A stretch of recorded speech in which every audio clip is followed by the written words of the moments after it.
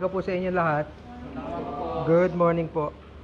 Ah, interactive tayo, no? Ah, gusto kong ah, ah, turuan kayo kung paano mag-conduct ng ah, interactive ah, Bible study. O mag-social distancing kayo dyan. Baka, wala namang exam pero para wag kayo magkopyahan. Kahapon sa distribution natin ng ah, rice packs, nakita ko may mga ilan na hindi naka ah, face mask. May isang pagkakataon si Brother Jojo walang face mask. Ah, doble ingat tayo ngayon sapagkat ah, napakadaling makahawa. Ah, yun pa rin naman ang depensa. Kanya huwag kayo maging ah, complacent.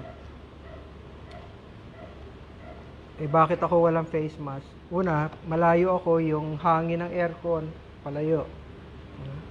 At ah, hindi naman ako sisigaw kasi interactive naman. Alright, ang subject natin ay uh, sin of one, sin of all.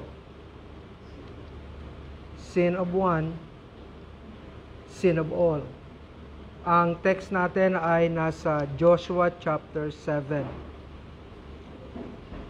But the children of Israel committed a trespass in the accursed thing, for Achan, the son of Carmi, the son of Sabdai, and the son of Zerah, of the tribe of Judah, took of the accursed thing, and the anger of the Lord was kindled against the children of Israel.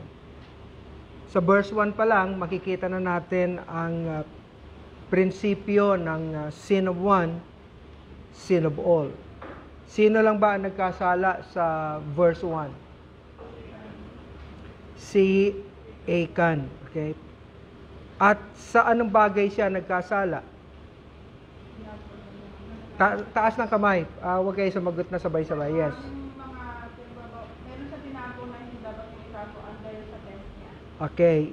Uh, Achan took off the accursed thing. O, underline na ninyo yon.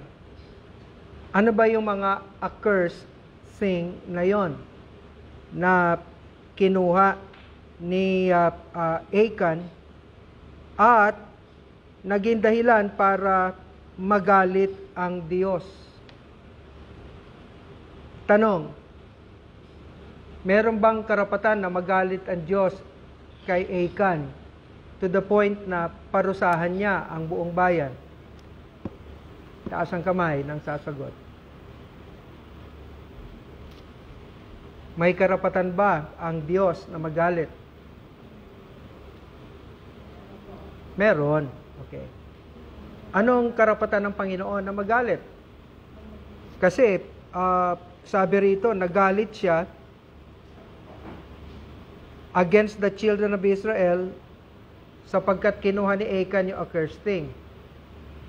Tanong, meron bang batas concerning what are those accursed things? O, yan ang tanong ha. At yan ang sasagutin natin habang binabasa natin ang uh, Joshua chapter 7. Na po.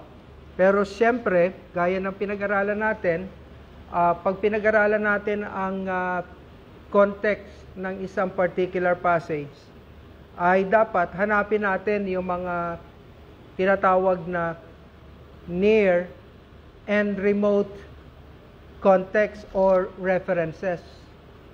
Near or remote uh, references. Ano yung near?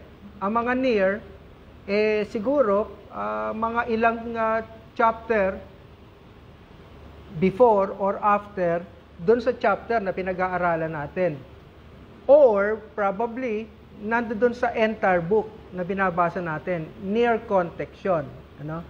Yung remote context, sapagkat ito ay panahon ng Israel, eh ang iisipin natin, eh yung mga uh, uh, giving of the law. Ano? Kanya kasama dyan yung uh, Genesis, o yun Pentateuch. Ano? Those are the remote context. Okay, titingnan natin kung aabot tayo doon sa mga remote context na yon. All right, verse 2. And Joshua sent men from Jericho to Ai, which was beside Bethaven on the east side of Bethel, and spake unto them, saying, Go up and view the country. And the men went up and viewed Ai. All right? Under the leadership of Joshua, eh, they are ano, they are uh, uh, doing the same tactic. Ano? Nagpapadala siya ng mga spies para tignan. Ganon din naman ang ginawa niya uh, sa Jericho, ano? Nagpadala siya ng spies. Ganon din naman ang ginawa ni uh, uh, Moses, ano? Nagpadala siya ng 10 spies to spy out the land, ano? Yung promised land. So, uh, up to this point ay makikita natin na si Joshua being the leader is still doing the right thing. Wala siyang uh, uh, alam sapagkat hindi pa naman nangyayari. Ano? Pero, uh, dahil ito nga ay isinulat for our learning, eh, ang anticipation natin, yung verse 1, eh, hindi pa nangyayari sapagkat hindi pa alam ni Joshua sa verse 2. Alright, verse 3. And they returned to Joshua and said unto him, Let not all the people go up, and let about two or three thousand men go up and smite Ai, and make not all the people to labor feeder, for they are but few. O, yun ang report ng ano ng uh, uh, mga spies na pinadala, ano? Ang recommendation eh wag na ang buong bayan kundi a representative, two or 3,000. They were so confident na sila ay uh, mananalo. Bakit sila kaya confident? Saan kaya sila kumuha ng ganitong uh, courage and confidence? O anybody? Sige, uh, William. Kagagaling lang nila sa uh, first victory after they crossed the Jordan River. Ano? At uh, ang victory na uh, nangyari ay nakita nila na the Lord is on their side. Eh kahit naman tayo sa panahon natin ngayon, pag nakita natin na ang pabor ay nasa atin, eh di, di ba, ganun din ang kumpiyansa natin. Kanya lang, ang kumpiyansa natin eh hindi dapat sa laman, kundi ang kumpiyansa natin eh sa Panginoon. Ngayon tayo ay nasa bagong tipan. Ay uh, paano natin uh, makikita that the favor of God o maa-assure that the favor of God is upon us not only as individuals but as a group, as a family, as a church. O, ano ang assurance natin that uh, we have the favor of God? Sa panahon natin ngayon, Yung promise po ng Panginoon na I will be with you always. And that is through the Holy Spirit. Okay? The Holy Spirit will enable us not only to understand the will of God, but also to give us the power to uh, execute. Ano po? Remember, ang subject natin is sin of one, sin of all. Ano po? Look at verse 4. So there went up feeder of the people about 3,000 men, and they fled before the men of Ai. And the men of Ai smote of them about 36 men. Mabuti, 36 lang. Ano? For they chased them from before the gate even to Shebarim, and smote them in the going down, wherefore the hearts of the people what? Melted and became as water. So from uh, having a great confidence, nung uh, maganap yung labanan, ay nagapi sila at talagang takbo. Takbo talaga sa kaaway. Ano? Uh, 3,000 men. Imagine niyo ah, 3,000 men. Sabi, ang assumption natin ay 3,000 men na mas marami kaysa doon sa pinuntahan nila. Kasi sabi ng mga spies, kakaunti lang naman sila eh. O di, sige, padala tayo ng dalawang hanggang tatlong libo. Siyempre, sino ba naman ang ano, sabi ng Panginoon Kristo, ang ah, lalaban sa gera na alam mong 10,000 ang ah, kalaban mo at pagkatapos susugod ka, nalilimandaan kayo. O, di ba? Kasi bilangan lang yan. It's just a numbers game. Ano? So, ang assumption ay mara, mas marami yung pinadala. Ano? Kasi kakaunti nga lang. Pero imagine niyo tumakbo sila sa kakaunti. Kanya sabi ng Bible ay uh, uh, their hearts uh, were melted and became as water. So alam naman natin ang uh, ano diyan, ang uh, dahilan, ano po? Sa verse 6, and Joshua rent his clothes and fell on the earth upon his face before the ark until the eventide he and the elders of Israel put dust upon their heads. So because Joshua uh, was a leader, eh, he rent his clothes uh, and fell to the earth before the Lord. The ark represents uh, the presence of the Lord. Until eventide, he and the elders of Israel. Kaya makikita natin na uh, everything rises and falls on leadership. At uh, yan ang ipinakita ni Joshua and the other elders of Israel. Ano? Pinakita nila sa Panginoon na uh, sila ay nagdadalamhati. Ano? Kasi yung uh, act na ginawa na ito ay pagdadalamhati ito. eh. It is not a time for rejoicing.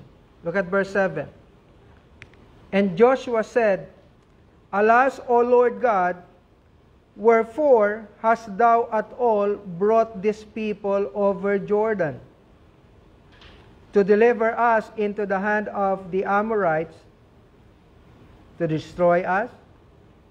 Would to God we had been content and dwelt on the other side Jordan.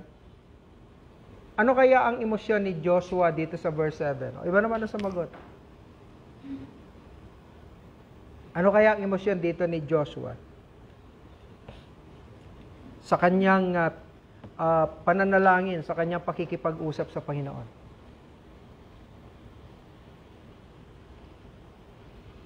Nagre-reklamo ba siya rito? Ha? Sino nagsasabi nagre-reklamo si Joshua? Sino nagsasabing hindi siya nagre-reklamo? O wala rin. Ang talino niyo talaga. Play safe.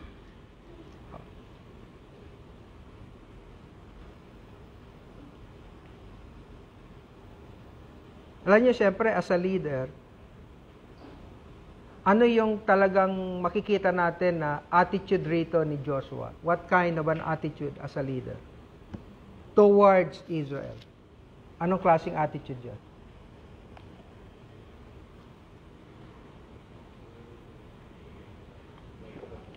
Ha? Mayroong? Compassion over uh, uh, Israel. Uh, of course, the leader ought to be compassionate. Pero ano yung pinaka-evident na makikita nating character dapat ng isang leader? May nakikita siyang pagkakamali. May nakikita siya pagkakamali, okay, uh, given yon. Pero ang hinahanap ko yung attitude talaga na dapat na uh, makita natin sa isang leader. Dismayado siya. Nagtitiwala dapat sa mga nasasakupan niya. Nagtitiwala sa mga nasasakupan niya, of course. Pero, uh, yun nga, dito wala naman siyang uh, biniblame eh. Wala siyang biniblame. But, uh, as a leader, eh, nagtatanong siya sa Panginoon. Anong dahilan? Okay, humility of a leader. Oh, sige, magsabi kayo, baka matsambahan niyo yung gusto kong marinig. Ano pa? Anong attitude ng leader? Yung ano yung, yung acceptance na kahit mali po yung... Oh, acceptance. Malapit na, malapit na, malapit na. Ha? Ano, ano, ano? Yung acceptance po niya na pagka kahit na ano, mali yung, uh, yung, ano niya, yung follower niya, sa kanya pa rin po yung burden, yung, ano, yung burden ng... Command responsibility, something like that. Uh, actually, nas, nasabi na niya eh, uh, ang gusto kong hanapin ay eh, yung pagiging accountable ni Joshua okay, as a leader. No? Accountable siya. Ano? Kaya nga, everything rises and falls on leadership. Ano? Leader siya eh. Kanya nga, nagtatanong siya sa Panginoon. Ano? Ah, Actually, ang nakikita ko dito ay ah, sapagkat ah, si Joshua ay righteous leader at ah, talagang naranasan niya na ang kapangyarihan ng Panginoon sa buhay niya. Eh, hindi siya nagdududa kung hindi ina-affirm pa nga niya ang ah, plano ng Panginoon sa bayan ng Israel. Hindi mo naman kami dinala dito para puksain ang kaaway. Eh. Oo. Kasi alam niya na sabi ng Panginoon ay pagdating niyo doon, eh, inhabited land yon and I want you to drive out all the people of the land. So, expectation niya na yon na sila ay pinangakuan ng ano, pagtatagumpay. Joshua chapter 1 pa lang, di ba? Joshua chapter 1 pa lang, ando doon na yung ah, pagtatagumpay. Tingnan natin. Joshua chapter 1. And this is how you need to study your Bible. Ano po? Sabi sa Joshua chapter 1, verse 1, Now after the death of Moses, the servant of the Lord, pare-pares tayo walang outline ha. Kasi kanya ko inano tong uh, sin of one, sin of all. Nag-post kasi ako sa social media and I shared this to several groups. At may isang grupo na sinyeran ko na merong pumiyok at ah, tinignan ko kung sino yung tao na yon. He is from Michigan and he is a blogger as well. Tingin ko Kristiyano. Okay? Hindi ko lang sigurado kung Baptist. Ang comment niya ay, dahil sinabi ko na ang pagpapala sa atin ng Panginoon sa church ay if we will be all accountable to God. Okay? Sin of one, sin of all. Eh, ang tanong ba naman eh, says who? Ha? Says who? Kaya sabi ko, eh, you need to enroll to my Bible school. Stupid. Oh. Sabi niya, kalimutan ko yung salita niya eh, pero sabi niya, You called me stupid? Eh, paano pa ako makikinig sa iyo? Yan ba ang attitude ng leader? So, binura ko yung comment ko na ano, na merong stupid, at sinabi ko, because you are. Eh, talaga naman stupido ka eh. Oh. I eventually ended up deleting the entire post in that particular group. Kasi ayoko na makipagdebate mga kapatid. I'm just expressing my my uh, uh, knowledge of the Bible. At kung merong hindi maniniwala dahil walang alam sa Bible, hindi ko problema 'yon eh. Kanya nga galit ako pag nag-react sa akin at alam ko na bobo. Ah.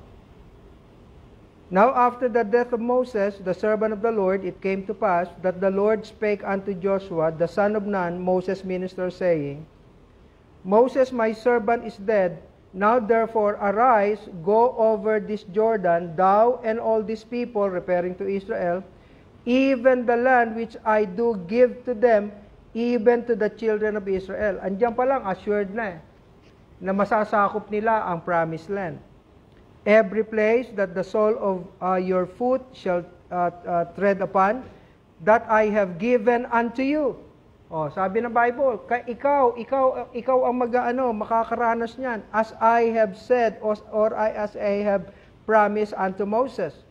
From the wilderness and this Lebanon, even unto the great river, the river Euphrates, all the land of the Hittites unto the great sea toward the going down of the sun, shall be your cause. there shall not any man, o underline nyo yan, there shall not any man be able to stand before thee all the days of thy life. That's a guarantee of what? A victorious battle or victorious battles all throughout his life on earth. Alam nga naman nagsisinungaling ang Panginoon. Sabi niya, As I was with Moses, so I will be with thee. I will not fail thee, nor forsake thee. Kanya pakiusap sa kanya ng Panginoon, Be strong and of good courage, for unto this people shalt thou what? Divide uh, for an inheritance the land. That's a guarantee na ma- masasakop nila ang ano ang uh, uh, promised land. Kasi i-divide na into uh, their uh, respective inheritance eh, which I swear unto uh, your, uh, their fathers to give them. Kanya yung pagtatanong ni Joshua dito sa verse uh, uh, uh, 7, eh, naniniwala ako na hindi ito complaint. Kundi ito ay uh, pagpapakumpirma o pagtatanong, paghahanap ng dahilan, bakit nangyari yung hindi dapat mangyari. At alam naman natin, ang Israel, eh, hindi dapat talaga matalo at hindi talaga dapat makaranas ng mga adverse situation in life because the Lord had favored them. Di ba? Kanya nga mga kapatid, eto po, pag kami nangyayari sa ating buhay na hindi ayon sa pangako ng Panginoon, huwag tayo mag-complain. Gayahin natin ang attitude ni Joshua na lalo pa nga nating i-affirm ang pangako ng Panginoon at tanungin natin ang Panginoon, Panginoon, pangako mo, di ba, na isusupply mo lahat ng pangailangan ko, eh bakit may pagkakataong ganito? Are you with me? Kanya nga po, nais ko sabihin sa inyo na walang pahihintulutan ng Panginoon na walang dahilan. Pinahintulutan ng Panginoon na matalo sila. Eh. Because there is a qualified reason. Bakit sila natalo? Hindi naman basta lang pahihintulutan ng Panginoon na matalo sila. Eh. Natalo sila na kung saan mas marami pa sila. Alright? Look at verse 8. Ah, verse 7 muna. Sabi diyan, ah, ano ba dahilan, Panginoon? Bakit, ano, bakit natalo kami? Kasi hindi itong plano mo eh. Para praising, ano? Would to God we had been content and dwelt on the other side Jordan. Papahintulutan mo ba na magkaroon ng ganitong kaisipan ng iyong uh, bayan na ipinagkatiwala mo sa akin? Joshua, mabuti pa na hindi na tayo tumawid ng Jordan kung ganito rin lang mararanasan natin. Hindi ba't ganun din ang complaint, nakita rin ni Joshua yon complaint ng Israel against Moses? Ha? Bakit mo kami dinala dito? Eh doon sa inalisan namin, pambihira, kumpleto kami doon eh. Ay, see? So, para sinasabi ni ano na, Panginoon, napanood ko na to ah. Same old complaint. Mga kapatid, pag may pinagawa ang Panginoon sa atin, hindi niya tayo pinahihirapan kung hindi tayo ay kanyang ano. May pagkakataon sinusubok niya tayo at may pagkakataon din naman na uh, ang kalooban ng Panginoon is not always an easy road. Jesus Christ submitted to the will of the Father concerning man's salvation, but it wasn't easy for him. No? Kanya nga, mamaya, bibila natin ng bota yung mga taga, taga saan? Sino sabi taga Sampirohan? Taga Runggot. Kasi ang layo na nilalakad nila, tubig yun eh. Oh, hindi, yung bota na hanggang dibdib.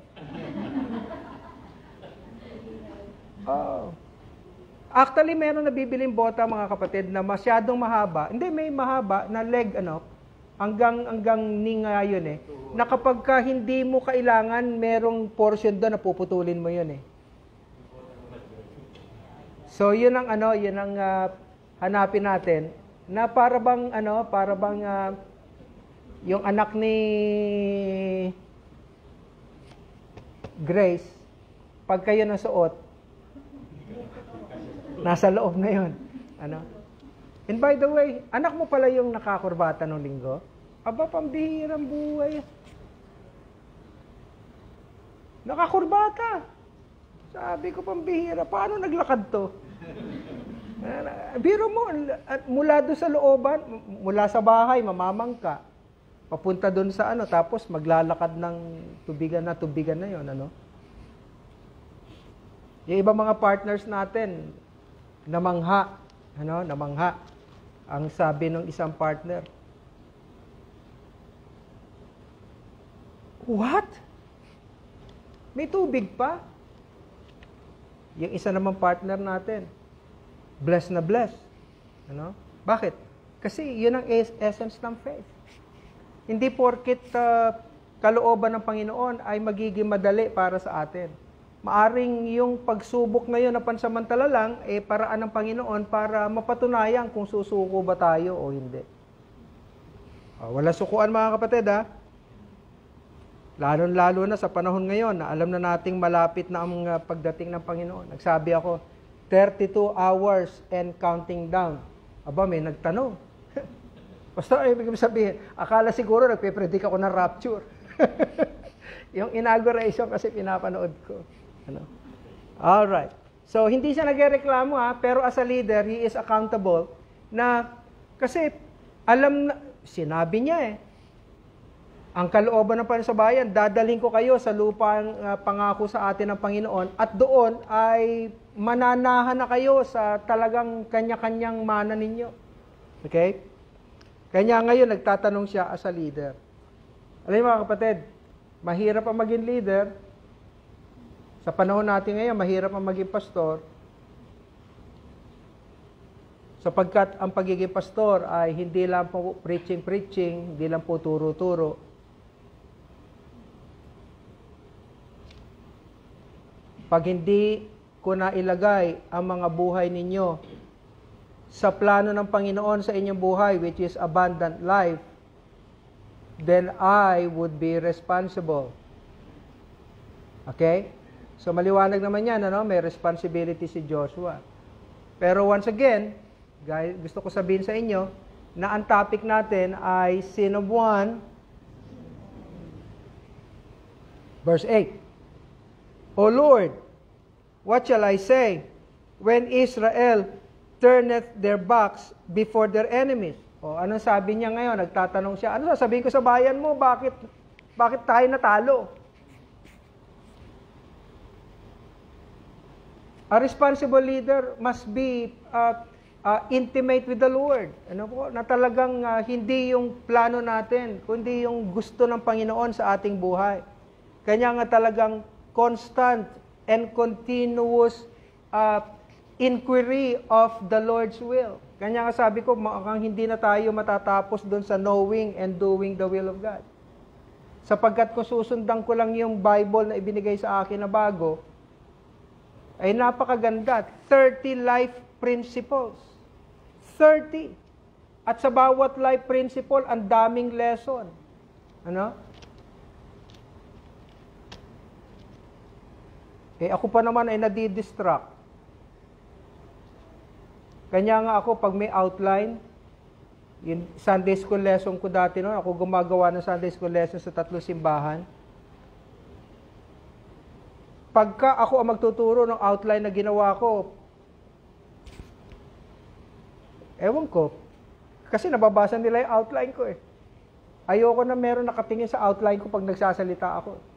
Eh lalo na yon, alam ninyo na may bagong Bible si pastor, kaya titingnan nyo, ano kaya Bible na ilalagay ni pastor sa pulpito?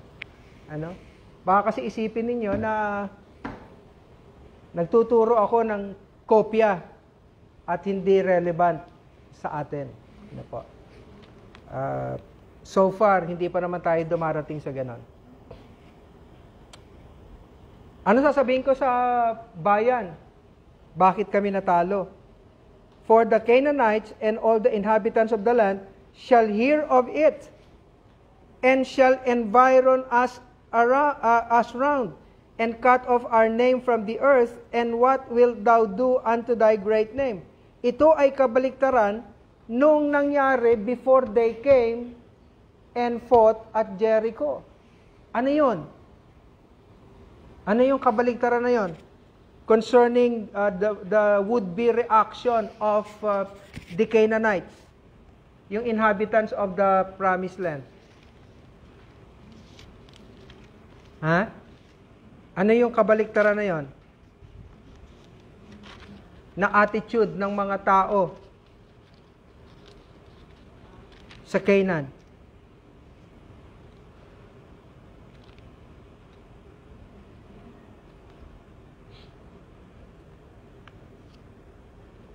Chapter 5 verse 1.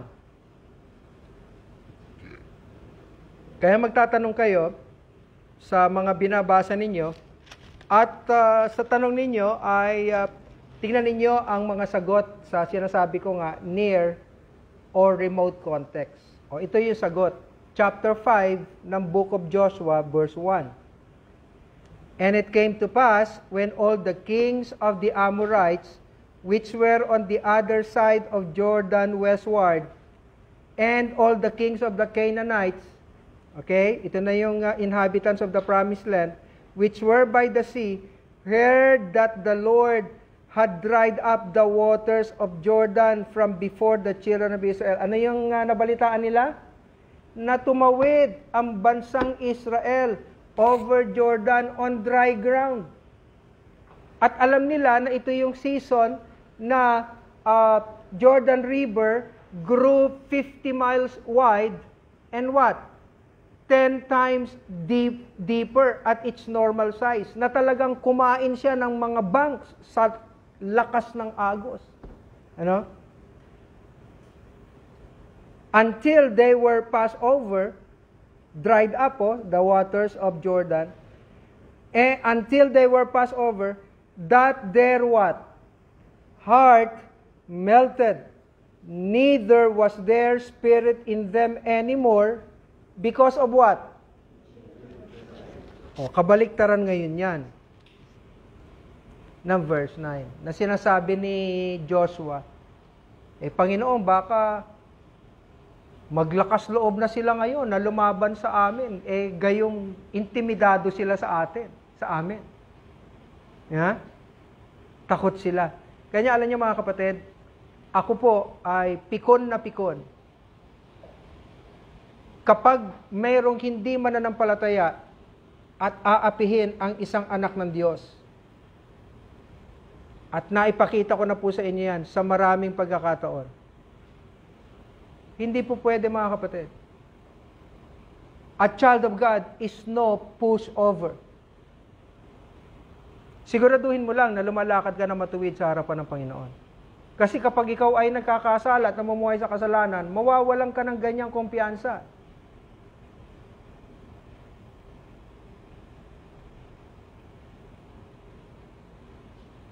Kaya pagpapaliktad ko ng metro,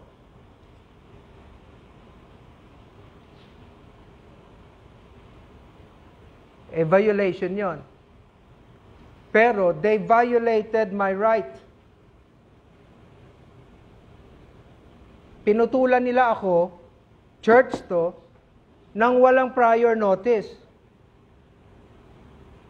Ang sabi ng ERB, huwag sila magputol. Ang sabi ng ERB, eh, come to a what? To a discussion. Huwag putulan. Kung kinakailangan hulugan. Eh ang issue kanina, bahay lang eh, pangkaraniwang bahay, 20,000 ang utang sa Meralco, 4,000 lang ang kayang bayaran. Ang sinasabi, eh, huwag niyong putulan. Ang sinasabi na, ang nagsasalita na, spokesperson ng Meralco. Hindi po namin puputulan. Bagkus, kinakailangan mag-usap, baka may ibang pamaraan. Bayaran ng hulugan. Simbahan to eh. Darating ako rito, walang ilaw.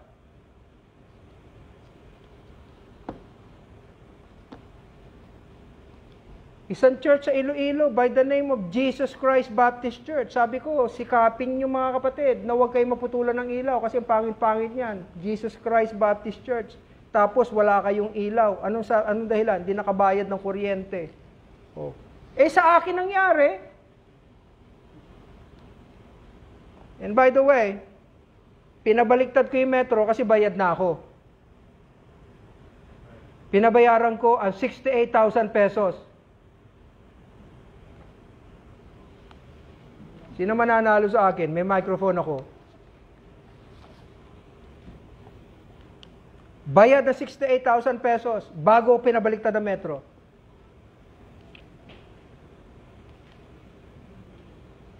Pumunta kami sa korte. Sige. Inahamon ko ang Ben Press. Nahamon ko mga Lopezes.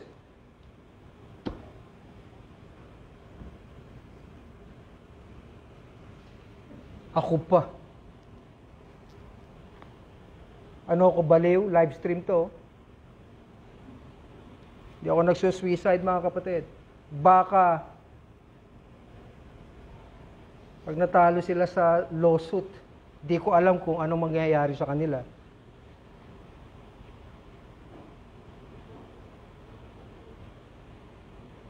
Hanggang verse 9, Joshua was innocent. Joshua was doing right. Oh, look at verse 10. And the Lord said unto Joshua, Get thee up, wherefore liest thou thus upon thy face. O ito ha, hindi ito kasama sa ano natin. Pero dahil nakasulat dyan, ano kaya ang ibig sabihin ng verse 10? They were prostrate fall before before the ark of the covenant because they're seeking uh, uh, the will of God. Bakit nangyari yung hindi dapat mangyari? Nananalangin, nagtatanong. Eh ngayon sabi ng Panginoon, Get thee up. Wherefore liest thou thus upon thy face?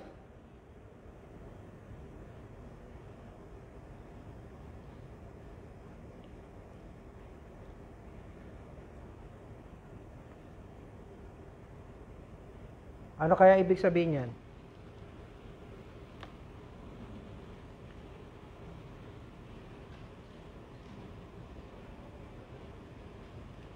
Kasi meron akong natandaan na nangyari din yan eh sa Old Testament. Then,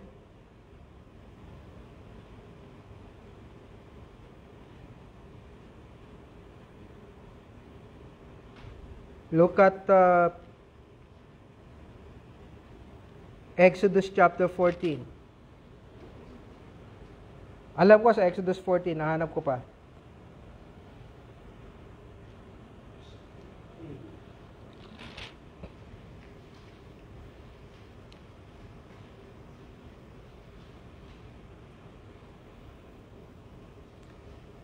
Sino nagsabi ng verse 15? Meron ako na ulinigan. Sino nagsabi? Oh, si Brother Dodi. Uh, verse 15, sabi dyan,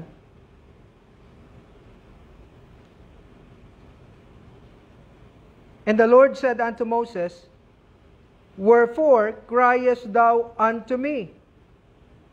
Speak unto the children of Israel that they go what? Forward.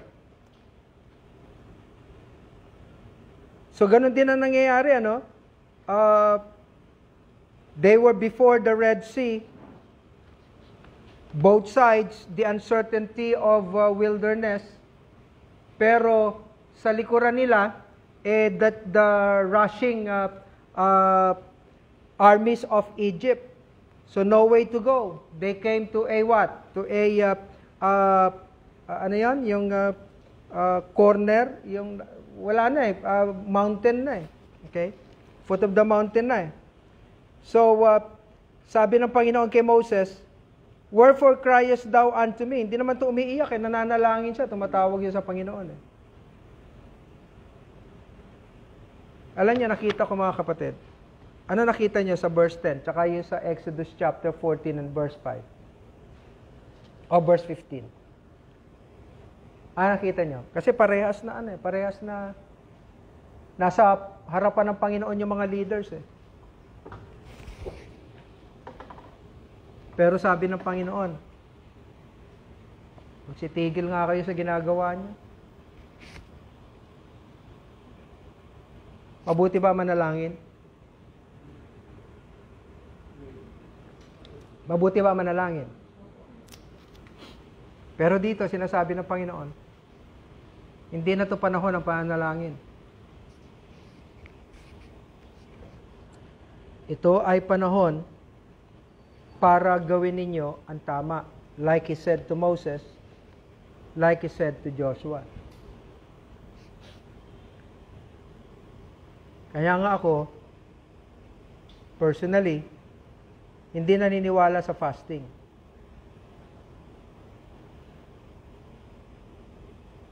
Hindi ako naniniwala sa fasting. Sa Old Testament, yes. But sa New Testament, walang command si Apostle Paul for us to fast.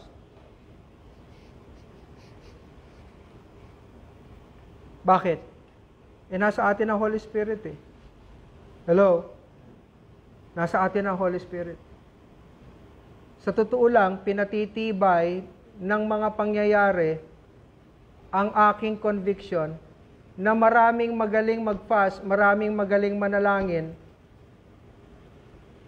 esemplang ang mga buhay.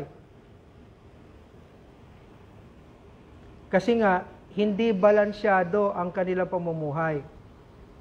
Ang Panginoon is a sovereign God, but the Lord has prerequisite to His blessings. Ano yung blessing ng Panginoon? Prerequisite sa blessing ng Panginoon? Ano? Obedience. Kanya nga pag sinabi ko na we are partners with God, eh totoo po yun. Favor is not always guaranteed. Because the favor of God comes through what? Obedience. Hindi ko sinasabi huwag kayo manalangin ha.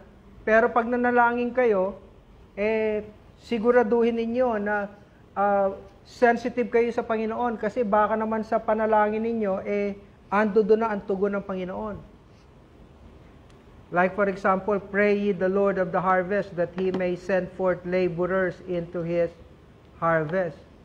O kanya hindi pinapanalangin ng maraming mananampalataya kasi alam nila na sila magiging katugunan ng Panginoon sa kanilang panalangin.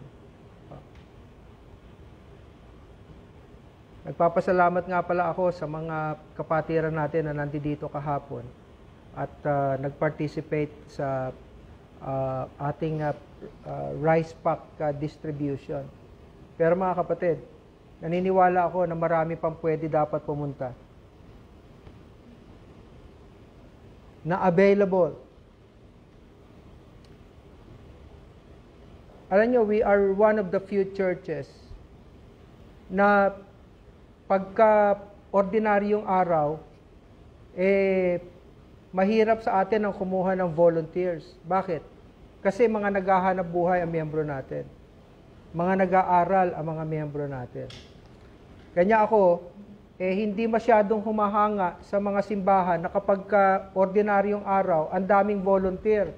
Ang pinapakita lang doon, eh, ito yung mga taong sana nagbigay talaga ng ano ng panahon na they absented themselves from their work, from their school.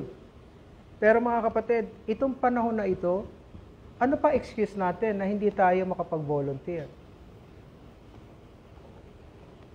Kanya ang gagawin natin, ipagpapatuloy talaga natin yung ginagawa natin na magdidesisyon tayo as a church.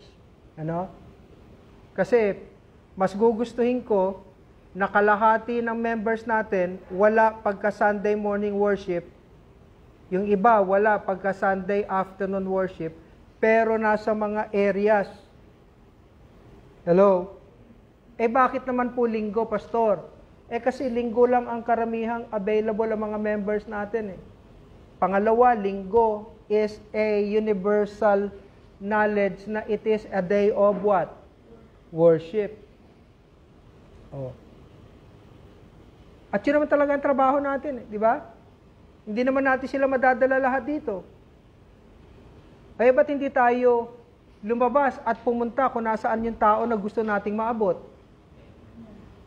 Kasi sa palagay ko, hanggang sa dumating na ang Panginoon, hindi tayo bibigyan ng Panginoon ng property. Kasi ang daming bakante rito sa building na ito eh. Yan lang ang upahan ko. Solve na ako. Kung property ang pangailangan natin, ha? Are you with me? Eh, hindi nga property pangailangan natin eh. Ang pangailangan natin, train our people na tayo ay maging ano, soul winners and disciplers. Every day.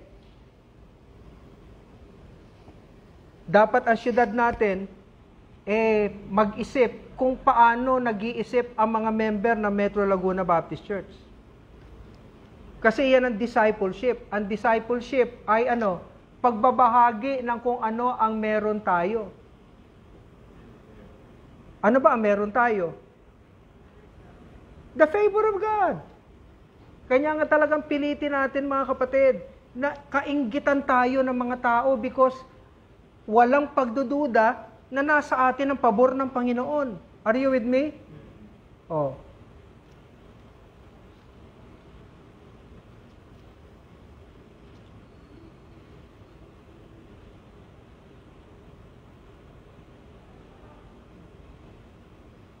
Kanya nga, siguro yun ang talaga ang, ang plano ng Panginoon para sa atin. Kasi bago ako nagsimula ng misyon, talagang humingi ako ng tulong, local at saka abroad. Natulungan ako. Walang dumating na tulong. Pero tingnan niyo naman ang ministry na nangyari sa ginawa natin. Kailanman hindi napahiya ang ministry na meron tayo. Hello? Sapagkat talagang pinilit natin na ang ministry natin represents the favor of God. Hindi tayo api-apihan. Hindi tayo mukhang kawawa. Naunawaan niyo mga kapatid? Oh. At yun talaga ang dapat na mangyari. Kasi church age ito eh. Dispenser pa rin tayo, hindi lang ng katotohanan, kundi ng blessings of God to the world. Was Israel a blessing of God to many nations?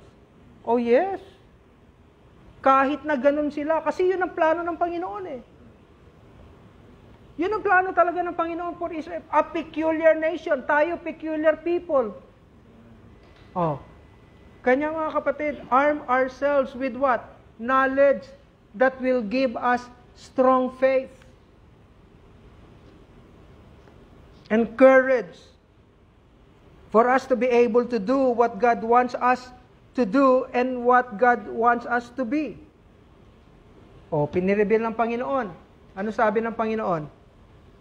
Thank you very much, Brother Ed, for coming. But, uh, nabaliktad na namin eh. Yung tilapia.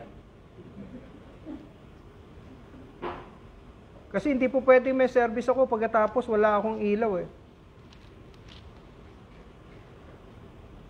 Pera lang yan eh.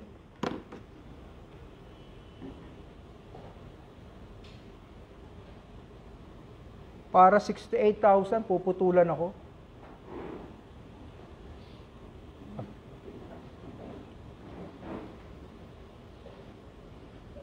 Eleven. Israel hath sinned and they have also transgressed what? What? What? Israel transgressed their covenant with God. Our God is a covenant keeping God.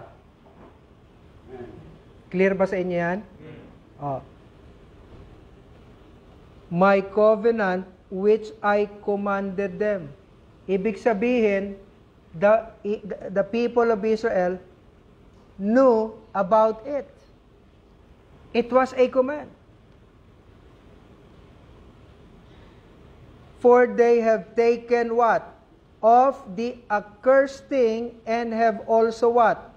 stolen and dissembled also, and they have put it even among their own stuff. O, isa-isahin natin. Ano ang kasalanan ng Israel? Kasi Israel had sinned. Ano yung naging kasalanan nila? Number one, they transgress God's covenant. O, number one na yan. Which I commanded them. What particular command? Concerning the accursed thing. For they have even taken of what? The accursed thing and have also stolen. Yung salitang stolen, hindi sa'yo, inangkin mo. Tama? Tama ba? Hindi sa'yo, inangkin mo. And dissembled also, and they have put it even among their stuff. Para bang walang nangyari. Inihalo pa sa kanilang mga gamit. Alright. Sabi ko sa inyo, tingnan natin ang near context. Sa chapter 6, sinabi na po yan eh.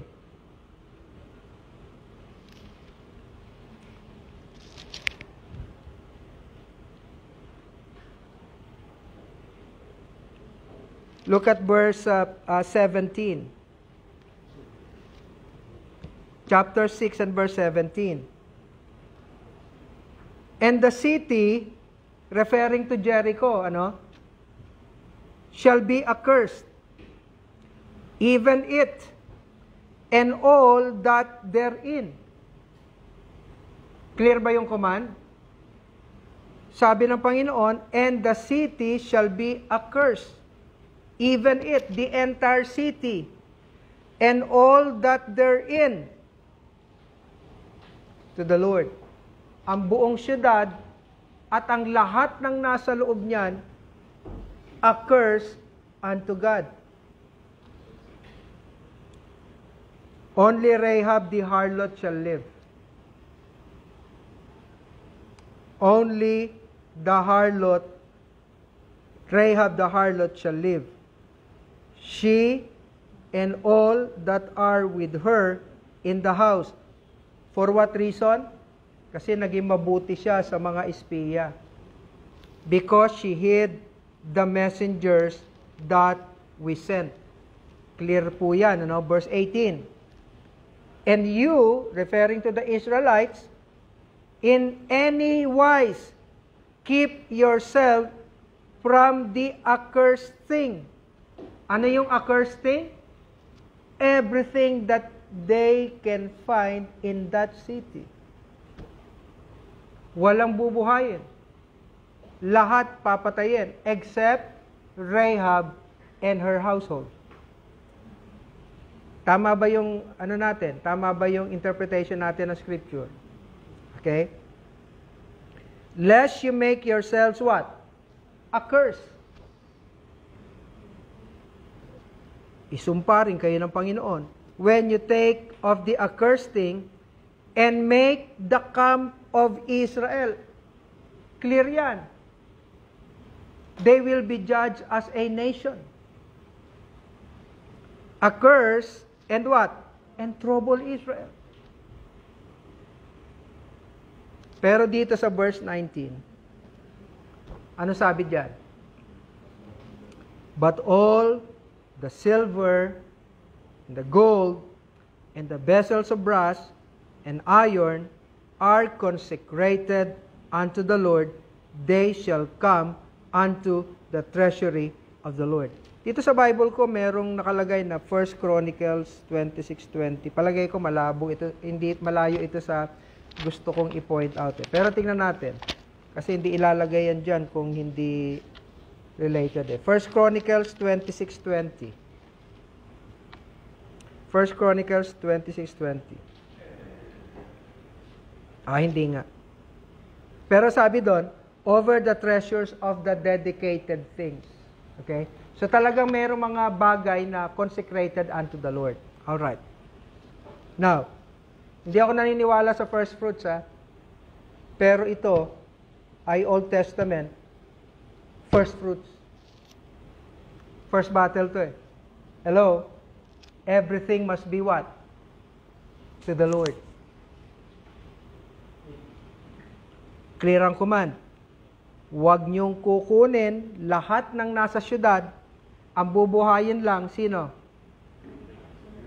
Rehab the harlot and her household. Everything must die. Eh, wala rito sinabi na except the animals. Di pati lahat ng mga...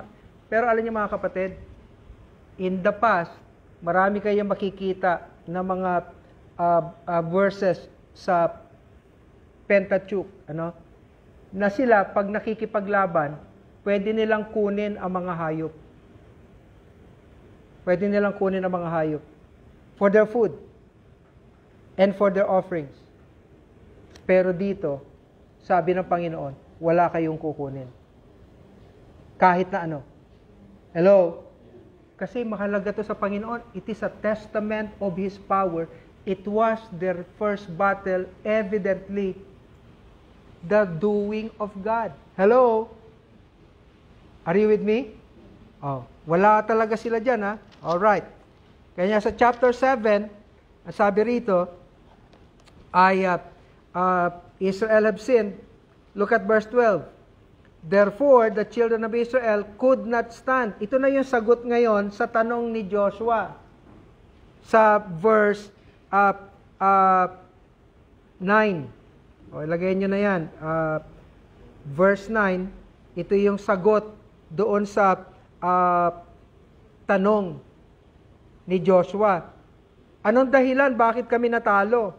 Therefore, the children of Israel could not stand before their enemies, but turned their backs before their enemies because they were what? A curse. Yun ang sinasabi ng Panginoon. Uh, uh, doon sa uh, chapter 6, ano po? Sa verse uh, 17, 18 hanggang 19. Alright? Now, sabi rito, neither, nakakatakot ito. Hello? Nakakatakot ito mga kapatid. Neither will I be with you anymore. Aba, iniwanan talaga sila ng Panginoon. Yan ang nakakatakot mga kapatid. Kung nagawa niya to sa kanyang bayan, hello, walang dapat magmalaki. Romans chapter 11. Yeah? Sabi ng Bible, kahit na ang church, hindi dapat magmalaki. Ang mga Gentiles na ano nga lang tayo, engrafted lamang tayo. Okay? Neither will I be with you anymore. Pero hindi naman yun final. Sabi ng Panginoon, except you destroy the accursed uh, from among you. O, di nasagot na ang tanong. Kanya ito nga po, uh, mga kapatid, ito yung patunay kapag ka sinabi ko na sa economy ng church, walang itatago ang Panginoon sa pastor. Wala. Lalong-lalo na kapag ang pastor intimate sa Panginoon. At walang inisip kundi yung kapakanan ng local body. Bakit?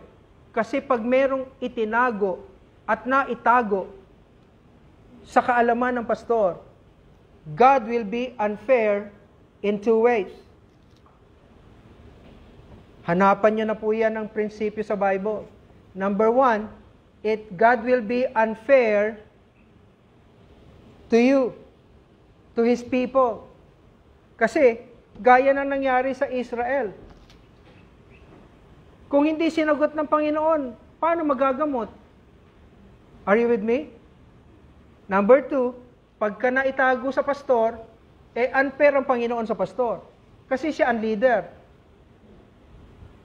Paano niya may execute ang plano ng Panginoon for His people? Are you with me?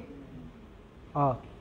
Kanya, nakikita natin, sin of one, sin of all, except you destroy the accursed from among you. Verse 13, Up and sanctify the people and say, Sanctify yourselves tomorrow, for thus saith the Lord God of Israel, there is an accursed thing in the midst of thee, O Israel. Thou canst stand before thine enemies until you take away the accursed thing from you. That's what exactly they did. Wala na akong time. Nakita ko, nasasarapan ako sa ano eh. Ang tanong, yung prinsipyo bang sin of one, sin of all, applicable sa church today? Sino nagsasabing yes? Oh, give me reason. Biblical reason. Bakit? Hmm? Because the local church, because the church is likened to a what? A physical body. Ang physical body, hindi lamang merong unity, one, oneness, kundi meron siyang cooperation. Hello? At saka talagang ano, talagang synchronized. Are you with me? Kanya nga, makikita natin, ah, dahil tayo ay ah, ah, ah, puro buo ng organs, yung mga organs na yan ay may kanya-kanyang system. Kanya nga meron sinasabi sa medicine na one organ affects the other organ. Hindi po pwede na tayo po ay, ah, ah, ah, pabayaan niyo ako kasi buhay ko naman to. Kanya binibigyan natin ng emphasis na we are what? Responsible and accountable to one another. Nakita natin sa Joshua chapter 7 na tayo ay ano? Tayo ay uh, uh, uh, hahatulan ng Panginoon at pagpapalain ng Panginoon as one. O ano ang uh, mga scriptures na makikita natin na nagpapatunay na uh, sa New Testament ay applicable pa rin yung sin of one, sin of all. Give me some uh, reference in the New Testament. Kasi dapat alam natin yung pinaniniwalaan natin. Alam nyo ba na parang apolo- apologetics na tayo ngayon? Hello? Kasi pag sinabi natin sin of one, sin of all, at napatunayan mo yan, apologetics yun eh. You are able to defend your conviction, your faith. Oh. Ano mga verses?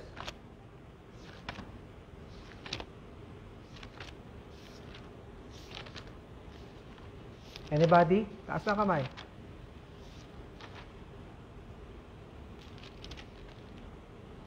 Sino pa? Kadami-dami nyo eh.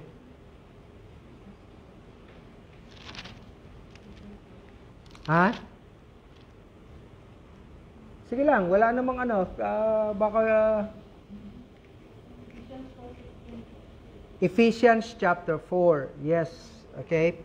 Uh, actually, uh, hinati ko ang book of Ephesians, ano? From Ephesians chapter 1 verse 1 to chapter 4 and verse 16 that is the unity of the church in apostolic doctrine. Kasi lahat yan doctrine. Ephesians 1 verse 1 to Ephesians chapter 4 hanggang verse 16. Okay? Ephesians chapter 4 verse 17 up to the last verse. Ephesians chapter 4 verse 17 hanggang chapter 6 and verse 24 is the unity of the church in biblical morality. Kasi dapat meron tayong distinction. Dapat meron tayong identifying marks. Alright? Kanya nga, makikita natin sa book of Titus, ang sinasabi ni Paul kay Titus, na you need to adorn, adorn what? The doctrine of God with your what? Testimony, your life. Kasi hindi sila maniniwala sa sinasabi nating tama, wala namang mali sa Bible, kung ang buhay natin dispalinghado. Tama? Pero kapag ka ang buhay natin ay tama, hindi pa tayo nagsasalita, nakikinig na sila. Naunawaan niyo mga kapatid? Are you with me? Oh, tama yon. Ephesians. Ana, ah, give me some more verses. Marami yan sa New Testament. Kasi doctrine to eh. That the church is a body.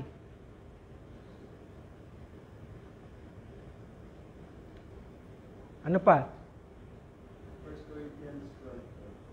1 Corinthians 12. Actually, the entire chapter. Okay? 1 Corinthians chapter 12. Na kung saan, uh, diniscuss dyan ni Apostle Paul for uh, lack of time. Basahin nyo na lang sa inyong bahay. O give me some more. Ephesians chapter uh, 4, uh, unity in doctrine, uh, apostolic doctrine and biblical morality. Then uh, uh, 1 Corinthians 12. O saan pa? Marami yan. Tingnan niyo yung mga salitang body. Second, 5.10. Second Corinthians 5.10. Ano sabi dyan? For we must all appear. Yun ba yun? Ha?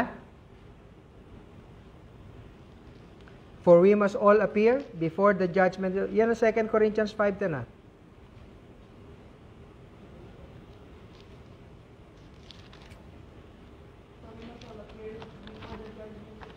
Oh, yun nga. Ah...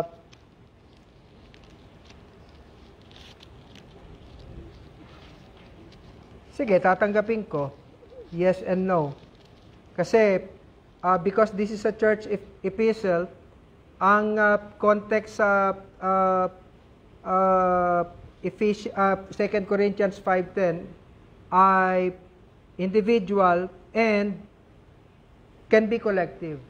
Ano? Kasi uh, inano sa church yan. Okay, uh, uh, ano yan eh, church epistle yan.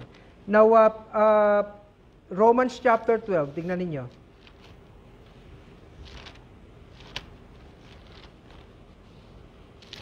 Romans chapter 12.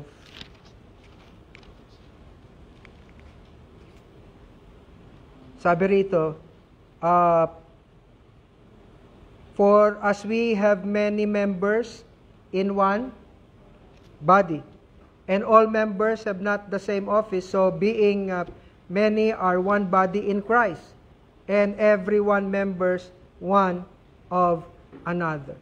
Uh, just continue on reading uh, sa Romans chapter 12.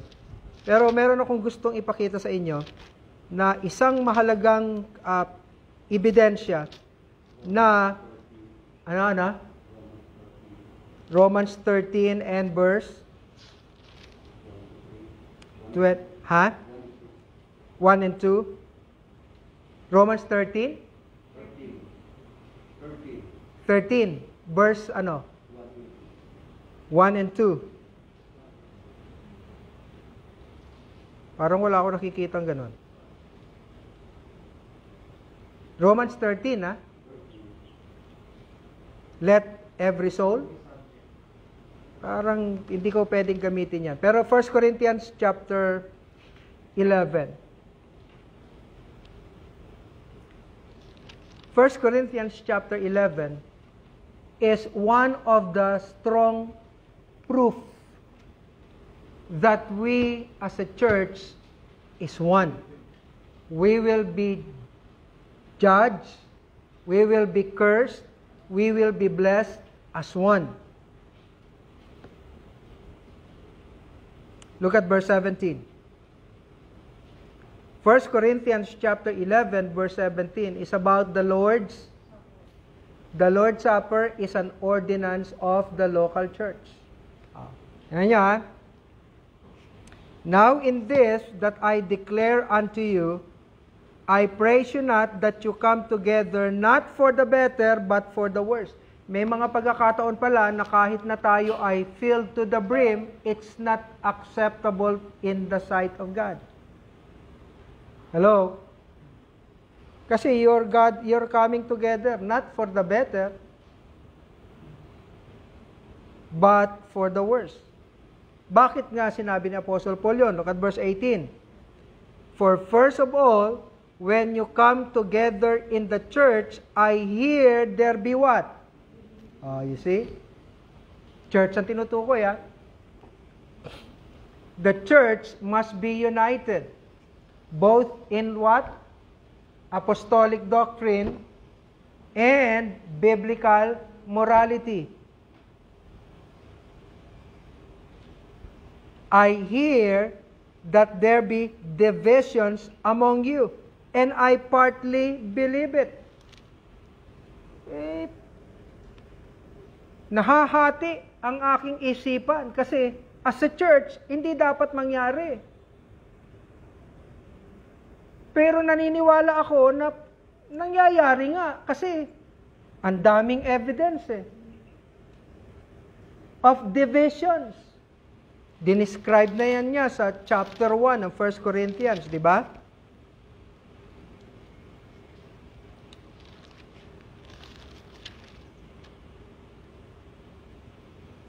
Verse, verse 13 o verse 10. Now I beseech you, brethren, by the name of our Lord Jesus Christ, that you shall speak the same thing, and that there be what?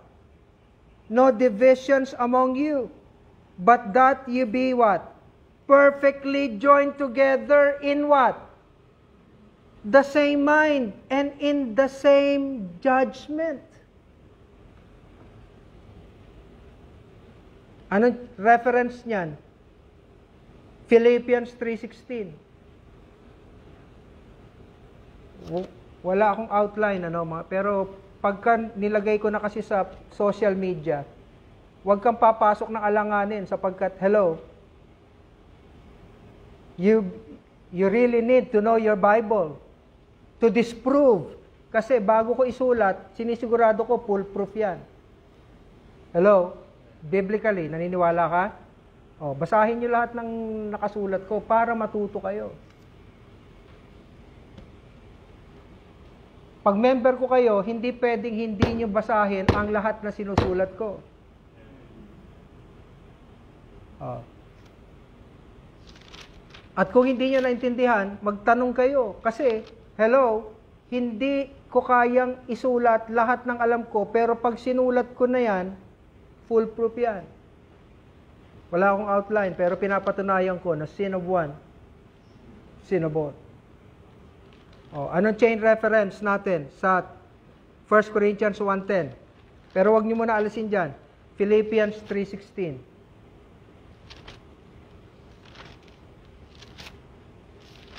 Kala siguro ng mga nagbabasa sa mga sinusulat ko, basta lang makasulat ako. Eh. Kamali sila. Philippians 3.16, ano sabi? Nevertheless, whereto we have already attained. Hindi pa natin naaabot yung plano ng Panginoon sa atin as a local church. Because a local church is this, let us walk by the same rule, let us, that's unity. That's unity. I hope you're taking down notes, ha? Look at verse 11 of 1 Corinthians chapter 1. For it hath been declared unto me of you. Kasi minomonitor niya ang Corinth from remote, remotely. Ano? My brethren, naka, narinig ko yung balita, pinaabot sa akin by them which are of the house of Chloe that there are what? Contentions among you. Now this I say, that every one of you saith, I am of Paul, I am of Apollos, I am of Cephas, I am of Christ. Ang tanong, is Christ divided? Was Paul crucified for you? Or were ye baptized in the name of Paul? I thank God that I baptized none of you, but Crispus and Gaius, lest any should say that I had baptized in mine own name, and I baptize also the household of Stephanas. Besides, I know not whether I baptize any other. For Christ sent me not to baptize, but to preach the gospel, not with wisdom of words, lest the cross of Christ should be made of none effect. Is Christ divided?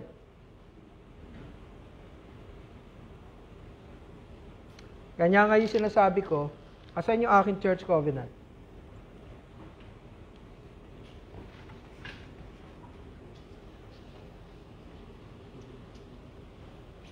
Makinig.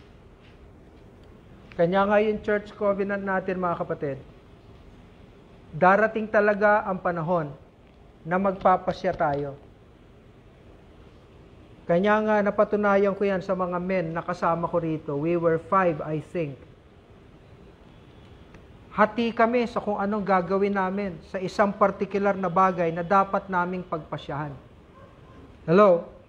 Hati kami. Talagang kasi tao eh. Pero alam niyo mga kapatid, hindi tayo dapat umabot sa ganong dilema. Sapagkat tayo nagpapasya, hindi dahil sa kung sino yung pagpapasyahan. Kasi kung akong pagpapasyahan, hindi nyo ako aalisin sa posisyon bilang pastor. Hello? Kahit na ako'y lubog na sa kasalanan. Hello? Kasi isipin nyo, paano ng church natin pag walang pastor? Ang isipin nyo mga kapatid, anong mangyayari sa church natin kung may ang pastor ay balasubas? Hello? Kanya ako nag-issue ng ano, outstanding letter of resignation. Any moment na meron kayong makita na ako ay nagturo ng maling doktrina at ako'y namuhay ng immoral, kasama pera. Hello? I must step down from the office of the pastor. Kasi nga, hindi tayo nagpapasya dahil sa kaibigan ko siya. Hindi tayo nagpapasya dahil sa tingin ko yun ang tama. Hindi. Nagpapasya tayo ayon sa ating ano? Napagkasunduan. May napagkasunduan na tayo. Hello? Hello? Kanya nga ang church covenant natin mga kapatid, eh mas mahusay ito kaysa sa anumang church covenant na meron ng karamihan ng mga Baptist churches. Kasi sila, yung first two pages lang ang meron sila. Hello? Yung anim na paragraph, yung iba limang paragraph lang sila kasi wala yung paragraph third kung paano susuportahan ang ministry ng pastor. Are you with me? Tayo, meron tayong exposition through four lessons kung paano natin maia-apply practically yung ating church covenant. Hindi lang yon, meron tayong addendum. Ano yung napagkasundoan nating addendum? Patungkol sa biblical marriage. Kanya wala na tayo dapat debate rito ha, kung sino ikakasal o hindi ha. Hello? Are you with me? At tatlong authority yan, parental, pastoral, parishioners. Congregation. Kanya mga kapatid, hindi na dapat maulit ha. Are you with me? Paano hindi maulit? Ang mga ah, mga magulang, bantayan ng anak. Hello? Kasi authority kayo ng, ng mga ng, mga anak niyo, you are there for their safekeeping. The pastor papasok lang kapag ka unbeliever ang mga magulang. Pero kahit na magkasundo ang mga saved na magulang at ang pastor, pagka ang church hindi nag-approve, walang kasalan. Hello? Eh hindi namin kilala yan, pastor ah. Sino ba yan? Eh bakit natin ikakasal? Di nga nila kilala. Sapagkat hindi lahat ng nasa edad na para mag-asawa ay dapat nga mag-asawa. Kahit na member pa ng Baptist Church. Pastor, yung ibig sabihin, hindi lahat ng member ng church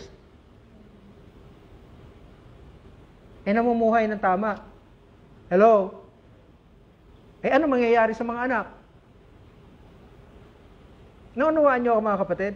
Kumpleto tayo sa lesson. Hello? Kanya wag na tayo maging emotional at wag na tayo magpabor ng kusino dahil ka mag-anak ko siya or whatever. Magdidesisyon tayo kasi darating sa boboto ka talaga eh. Hello? Ang boto ko isa rin lang. Hello? Hindi yung pagtaas ko ng kamay, carried the church. Hindi, isa lang ang boto ko sa church.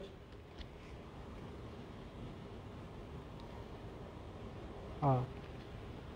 Kanya walang sisihan dahil ang boto natin ayon sa napagkasunduan natin. Tama, mali? Oh. 1 Corinthians chapter 11, balik tayo.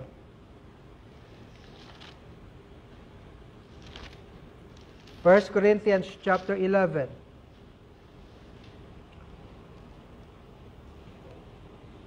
Verse 19. Una, meron division. Division ng ano? Hindi lang in leadership. Kung hindi talagang may division ng mayaman sa mahirap. Clustering sa loob ng church. Yung ating mga division, mga Sunday school division, hindi dahil sa hinahati natin ang church. Ina-address natin ang mga specific na pangailangan ng mga members natin. Pero, hello, sa church, bagamat mag- maraming leader, isa lang ang pastor. Hello, ako dito, I don't mind na meron tawagin na assistant pastor, assistant to the pastor, or director, or whatever. I don't mind. Basta't isa lang ang pastor dito. Merong kanya-kanyang kapamahalaan ayon sa kakayanan na meron ng bawat isa sa atin. Are you with me? Kanya nga meron akong accountants eh. Kaya nga meron akong kasi di ko kaya gawin lahat yan eh. Imaginein mo kung yung distribution na ginawa natin kahapon, we distributed 600 packs, ako gagawa. Hello? Hello? Hello? Eh, kung may mga pastor na sila gusto nila gumawa ng ganun, eh, bahala sila. Pero ako, I would rather train you to do the task. Hello? Because we're one body. Amen? Eh baka bukas, mamaya pag uwi ko, maaksidente ko, pisarot yung tera, patay ako.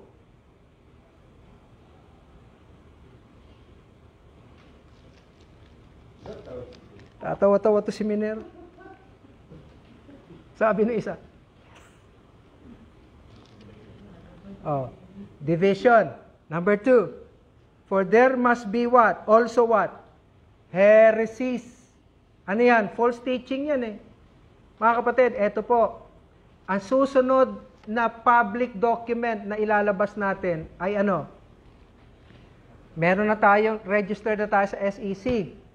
Meron na tayong ano? Articles of Incorporation. Yung ating uh, Constitution and Bylaws. Meron na tayong Church Covenant. Ang lalabas natin sa susunod ay Articles of Faith what this church believes concerning doctrine.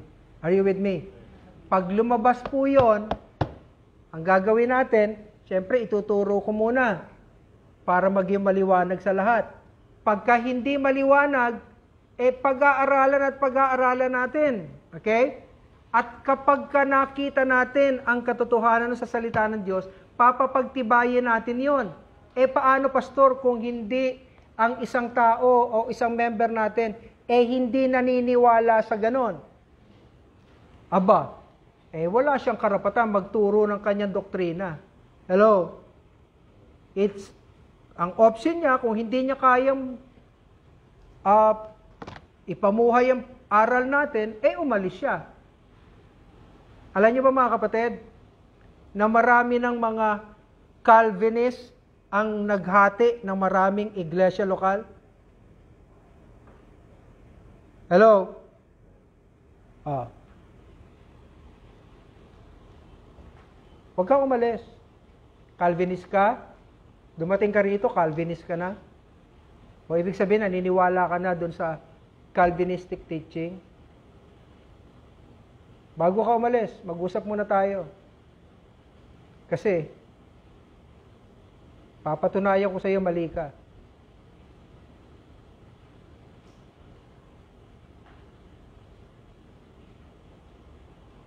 Pero yung splitin mo ang church, wala kang karapatan. Bakit? Isa lang ang pastor dito. Hello? At ang doktrina dito, kung ano yung tinuturo ko. Hello? Parang noon, issue ng music, akala ko basta-basta lang yung music. Aba, ando si Brother Dodi, siya nga ata nagtanong nun eh. Sabi ni Brother Dodi, ano, dito pa tayo magsisimba sa linggo? Bakit? Kasi akala ko music, simpleng bagay lang. Pero hindi. Ang music, napakahalaga. Kanya ang tanong, eh pastor, ano ba ang standard natin sa music? Ano po standard natin sa music? Ang standard natin sa music dito sa church, eh kung ano yung pinahihintulutan natin. Hello? Kung ano yung pinahihintulutan natin. Kanya, eh, okay lang. Kanya, siguraduhin nyo na yung kinakanta natin, eh, una, hindi lamang, wala, walang problema sa touching the emotion. Emotional being tayo mga kapatid eh. Are you with me? Ang hindi ko pahihintulutan dito, kapag yung inawit nyo, walang biblical foundation. Basta't ang awit natin, dalawa lang, patutuo kung gaano kabuti ang Panginoon, kung sino siya, at ano yung dapat na maging responde natin sa kung sino ang Panginoon. Yun lang. Hello? Emotion, papikit-pikit, lahat, everything. Wala akong problema. Umaawit ka sa mga emotional beings. Hello? Mabuti kung umaawit ka sa robot. Di magbuka robot ka rin. I stand amazed in the presence of Jesus the Nazareth. Robot ba inaawitan mo? Emotional being tayo. Huwag niyong aalisin yun. Inalis ng mga Calvinist yun. Sa totoo lang, kapag ka wala ng karapatan magdesisyon ng tao, bakit ka mawawalan ng reward pagdating mo sa 2 Corinthians 5.10? Oh. Hello? Kung lahat ng mangyayari, makinig, ito ang hanggang ngayon hindi nasasagot ng mga Calvinist. Kasi sa paniniwala nila, binabiolate nila yon. Why do they pray? Bakit pa sila nananalangin? Eh tapos na pala lahat. Hindi na pala pala pwedeng mabago ang pag-iisip ng Diyos pag nanalangin tayo. You're begging God, right? You're begging God to do the things you want. Hello? Kung wala tayong karapatan, eh bakit pa nananalangin sila? O, di violation na naman yan. O, heresy. Verse 20. When you come together, therefore, in one place. Ano sabi ng Bible? This is not to eat the Lord's Supper. What is the Lord's Supper? The Lord's Supper is the ordinance of the local church.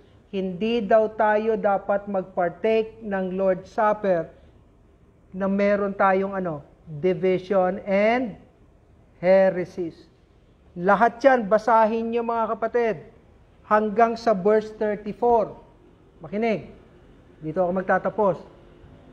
Lahat yan patunay na tayo ay responsible to one another.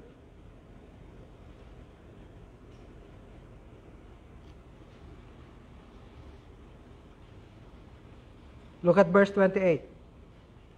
But let a man examine himself, so let him eat of that bread and drink that crop. We are responsible to one another. Nasikapin natin na tayo ay ano? Right with God. Are you with me? Kasi kapag hindi right with God, makakadamay tayo sa curse at sa favor ng Panginoon sa church.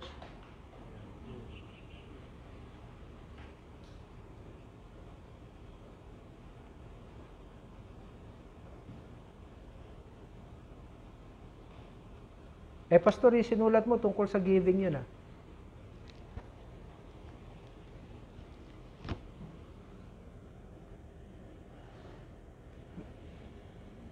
Ang sinabi ko doon, kung lahat ng mananampalataya nakaanib ng Metro Laguna Baptist Church, ay magiging faithful steward. Faithful steward. Ano ba ang mentality ng faithful steward? Everything belongs to God. Wala kang pag-aari na hindi sa Panginoon. Are you with me? Oh. Kung lahat faithful steward, eh lahat magbibigay ng tama. Sapagkat kung ang lahat ng miyembro ay magbibigay ng tama according to faithful stewardship, listen, hindi po maghihirap ang church at walang miyembro na maghihirap. Pag-aralan nyo ang Acts chapter 2. Yung mga nagbenta, pinagkatiwalaan ng mas marami. At yung walang-wala, hindi nagkulang. Sino yung mga walang-wala? Yung mga dayuhan sa Jerusalem. Kasi nagpunta sila nung Day of Pentecost fiesta.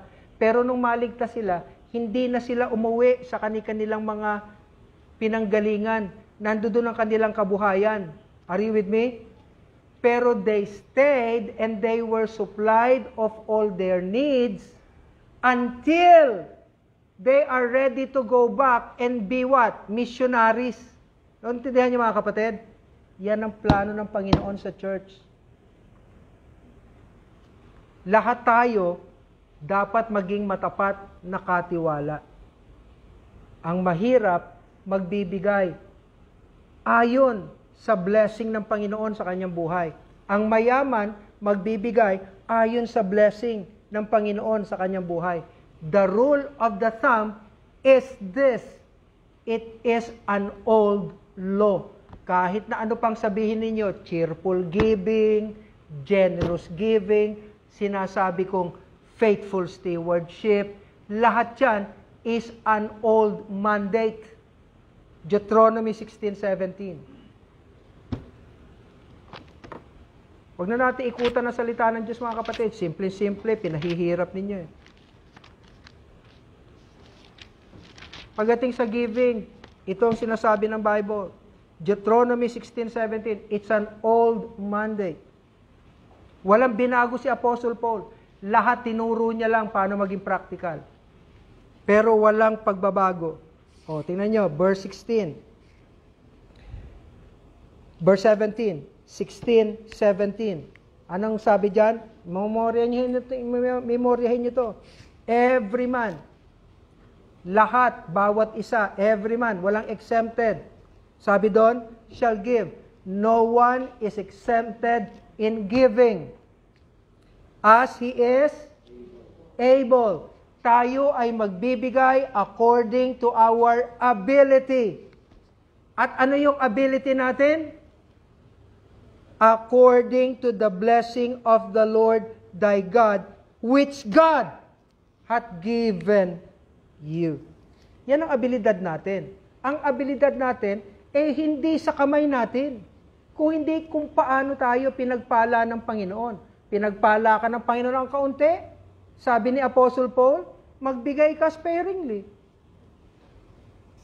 Pinagpala ka ng Panginoon bountifully, magbigay ka bountifully. Hindi yung, eh bakit siya binigay niya 10 piso lang? Eh mas malaki blessing mo eh. Kapag lahat tayo nagbigay mga kapatid, even in the Old Testament, lahat, pati batas, batas ng ano, gleaning, batas ng jubilee, lahat, it all aims to eradicate poverty in the land. May, may mahirap ba sa Israel? Hanggang ngayon, meron pa rin. Pero karamihan sa kanila mayaman kasi pinagpala ng Panginoon. Mga kapatid, imagine niyo sa church, kung susundin natin yan. Every man shall give. Wala exempted as he is able. May kanya-kanya tayong abilidad. Ano yung abilidad natin? According to the blessing of the Lord. Thy God hath given thee. 1984 pa po, sa ulado ko na yan eh. Deuteronomy 16:17. Hindi lang sa ulado, itinamumuhay ko pa. Ang totoo niyan, as sinasabi ko sa inyo, 1984, as a young believer, I started with 20. 10, tithes. 5, love. 5, faith. I, I started with 20. Kanya ngayon, I can afford to give 100 at a minimum. Apat na buwan akong di kumuha ng support sa church na eh, in 2021.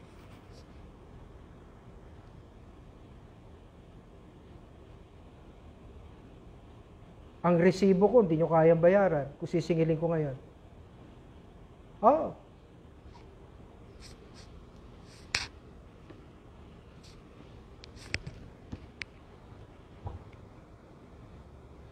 Ang indicator na lang, tingnan nyo, pagka hinila na yung tera.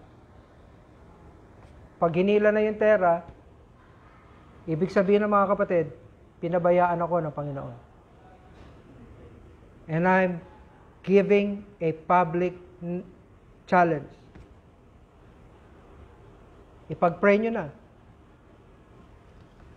Kung gusto niyo. Pero pag ako hinilaan ng tera, isa lang ang ibig sabihin nun, pinabayaan ako ng Panginoon. So far, hindi pa naman eh. Apat na buwan ako hindi kumukuha ng support sa church ito. So far, hindi pa. Nagigipit ba kami? Oh yes. Umiiyak na asawa ko eh. Kailan ka pa pwede mag-withdraw? Na-support mo. Mahal na mahal ko asawa ko mga kapatid. Magse-celebrate kami ng anniversary. 26 this February. And I will treat her the best I can afford with the blessing that the Lord will give me.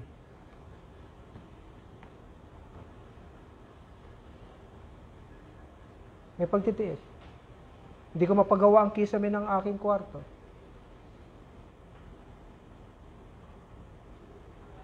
Hanggat hindi bumabagsak, hindi ko papagawa yun.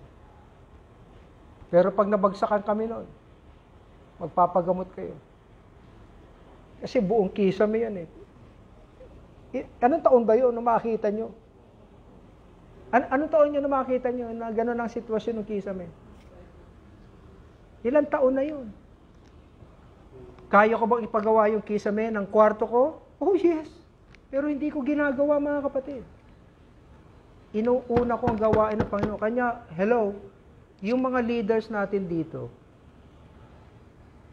huwag niyong pahintulutan magkasala yung iba kasi ginagawa ko ang lahat. Hello? Ginagawa ko ang lahat para pagpalain tayo ng Panginoon. Pero may mga dispalinghado na nagsasabing member sila kasi they signed a covenant with us. Sabi ng Bible, they violated my covenant. This is our covenant, pero kinuha nating witness ang Panginoon. So therefore, bahagi siya ng pagkasunduan natin. Kasama sa pinagkasunduan natin to support all the needs, spiritual, material, physical, emotional of all our people. Why will I feel responsible? Eh dapat matuwa na ang pastor kapag meron kayong membro na kagaya ng mga membro natin sa Runggot. Biro mo, lalakad, papunta, pabalik. Hello? Aba, talaga pagmamalaki mo yan, kahit saan mo dalhin yan. Pero hello, it's my responsibility to take care of them. Nagpapatayo ng light materials na bahay ang dalawang pamilya, at least two families. Hello, mga kapatid, let's pray together. Kahit na hindi tayo pagpalain ng Panginoon, kung pagtutulong-tulungan natin, kahit paano, makukongkreto yan eh. Hello? Member natin yan eh. Huwag natin pabayaan. Kasi kung anong tingin sa kanila ng barangay doon, siyang impresyon ng Panginoon sa atin. Are you with me? Kanya nga china-challenge ko sila eh. Umanap kayo ng lugar, malis kayo doon. Basta na doon ang hanap buhay namin. Hello? Limitado ba, Panginoon? Pagka dinisisyonan kita at sumunod ka sa akin, kasama ka sa bubuhatin ko sa balikat ko.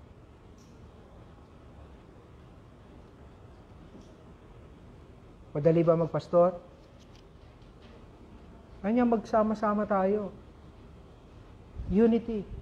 Pag meron tayong ka- kapatid na walking disorderly, huwag niyong pahintulutan. Kasi sila ang magiging daan para hindi natin matamasa yung dapat na ibagkakaloob sa atin ng Panginoon. Are you with me?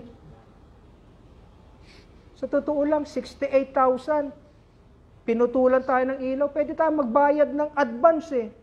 500,000. Sabihin natin sa Meralco, o oh, sige, bahala na kayo. Ubus-ubusin niyo yan monthly. Pero advance na kami ha, parang prepaid. Pwede natin gawin yun eh. Naniniwala ba kayo? Pwede natin gawin yun. Pero bakit napuputulan tayo? Nang hindi tayo dapat putulan, kanya galit na galit ako. Kung fault natin, kung fault natin, magpapakulong ako kasi pinabaliktad ko yung metro.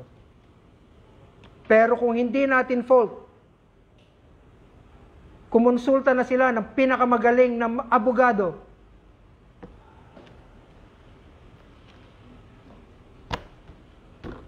at magbabayad sila ng damage perwisyo sa akin bilang pastor. Papasok ko rito, walang ilaw.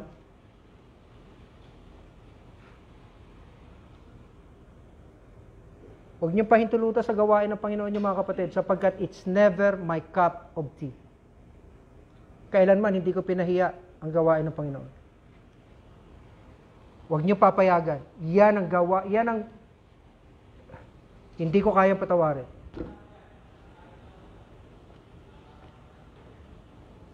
By now, kilala niyo ako. Kahit sa anumang trabaho, ayusin natin kasi binigyan tayo ng Panginoon ng kakayanan. Hindi pwede yung basta na lang. Ha? Naghahanda ka na ba pagpunta sa UP Diliman? Issue doon, communism. Ayusin mo. Baka pagbalik mo rito, komunista ka na. Oh, kaya dapat alamin mo ang salita ng Diyos, magpakatibay ka, mag ano ka doon. Bakit? Walang pinaghandaan na magugulat pa tayo. Pag pinaghandaan natin, hindi tayo dapat magulat. So far, uh, I want you to study the Bible as I study it.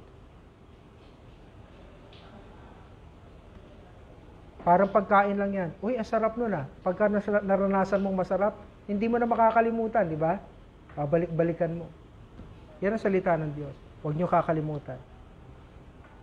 I-memorize natin. This book of the law shall not depart out of thy mouth, but thou shalt meditate therein day and night, that thou mayest observe to do according to all that is written therein. For then thou shalt make thy way prosperous, and then thou shalt have good success. Shall not depart out of thy mouth. Sa anong paraan yon? Recitation. Paano mo marirecite ang hindi mo minemorize? You memorize and recite. Any more question? O get, get one half sheet of paper. Tayo manalangin. Amang banal, maraming maraming salamat po.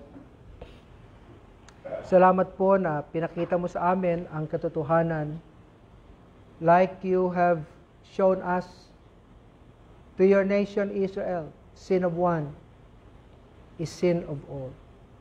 Kung totoong uh, pinarusahan mo at nakita namin ang katotohanan nito sa Old Testament, much more in the New Testament, sin of one, sin of all. Sapagkat we are one body as a local church. Kaya tulungan niyo po kami, Panginoon, na kami ay maging responsible and accountable to one another. Pahintulutan namin na kami ay bantayan ng aming mga kapatiran. Na kami ay sawayin.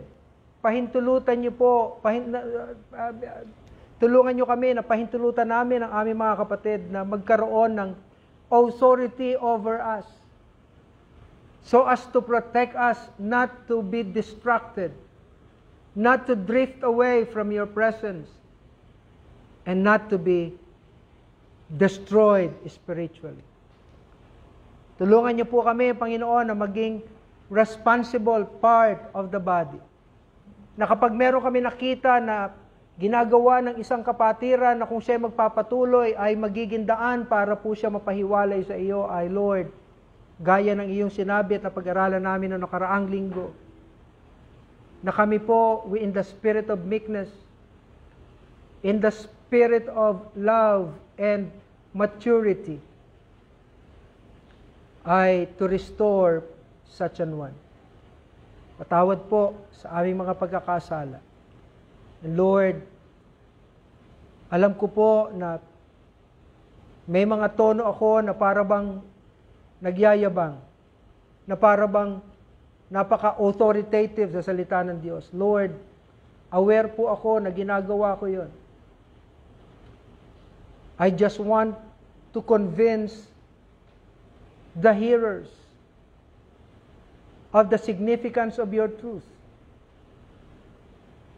Gusto ko lang pong kunin ang atensyon ng maraming mga mananampalataya to move them out of their comfort zone. To take away wrong thoughts and wrong mentality. But Lord, kailanman hindi ako pwedeng magmalaki sa iyo sapagkat lahat ng kung ano ang meron ako ay galing sa iyo. Salamat po at hindi mo pinapahintulutan na madistract ako ng maraming bagay. Lord, I have told some of our brethren my vulnerability, my weaknesses, my struggles. But Lord, hindi ako kinakailangan magpakita ng kahinaan sapagkat kung gagawin ko po yon ay ano ang mangyayari sa mga nangangailangan ng kalakasan sa iyo at uh, mangangailangan ng aking ministry. Bigyan mo po ako ng tapang na panindigan ng iyong salita. Na kahit na sa anumang paraan, Panginoon, sa iyong biyaya, ay basagin ang mga strongholds na itinayo ng kaaway sa puso't isipan ng iyong mga anak na kanilang pinangahawakan at kanilang itinataas higit sa katotohanan ng iyong salita. Marami po kaming pinagdadaanan kanya-kanya. Pero Lord, hindi nagbabago ang iyong salita. Hindi nagsasal nagbabago ang iyong mga precepts. Iisa po ang solusyon sa lahat ng aming mga suliranin. We need one another. Like you said, iron sharpeneth iron. Lahat kami ay may kanya-kanyang sukat. Walang kumpleto. Kanya kami po ay nakadepende sa uh, pagkalinga ng bawat isa. At ikaw ang nagsabi na aming ituon ang aming atensyon, hindi lamang sa aming pansarili, kung hindi sa pangailangan ng iba. To their edification. So Lord, help us to realize these things at matakot po kami sa katotohanan because we're in the church, sin of one is also sin of all. We will be judged individually and collectively. You will curse us individually and collectively. You will favor us individually and collectively. Lord, tulungan niyo po na masunod namin ang iyong salita. Hindi lamang po as individuals, but as a local church. Tulungan niyo po na maging advantage namin ang pagkakaroon ng church covenant. Hindi po ito isang bagay na dinidisplay lang namin, kundi ito ay isang advantage namin. Na kung hindi namin ipapamuhay, ay it's woe unto us. Woe unto us. Natulungan niyo po kami, Panginoon. Bless Metro Laguna Baptist Church. For all these things I pray in Christ's most precious name. Amen.